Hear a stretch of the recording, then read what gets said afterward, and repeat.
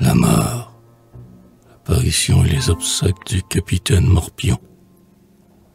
Cent mille poules de forte taille, sur la motte en livrée bataille. Un nombre égal de Morpion, portant écu et morion.